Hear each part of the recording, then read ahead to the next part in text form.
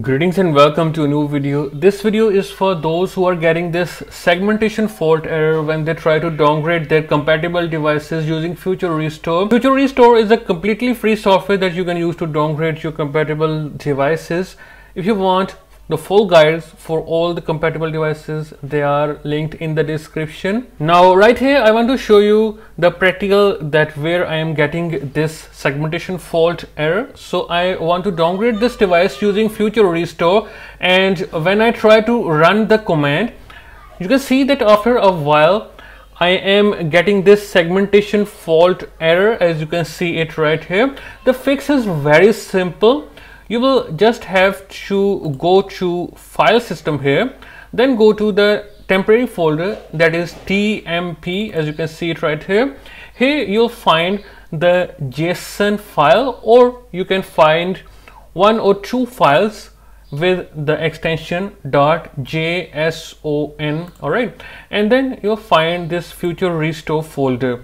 What you will do is simply delete the future restore folder and delete the .json file right here. Sometimes what happens is that when you try to delete the .json or JSON files, you will get a permission error which won't let you delete it.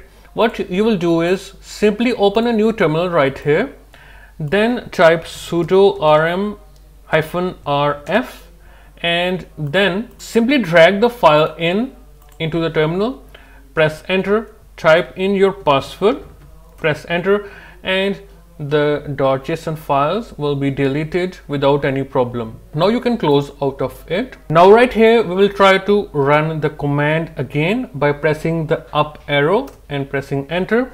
And now you'll see that the error is now fixed. So as you can see it is working just fine. And you can see right here the process went well without errors now, whenever you get this error while using Future Restore, you can simply go to File System, Tem, and simply remove the. dot .json files and the Future Restore folder and then simply retry. And the process will go just well without any error as you can see right here. All right as you can see no segmentation fault error and the process is working just well. Alright guys that's all for this video. I will see you in a new video. Goodbye and take care of yourself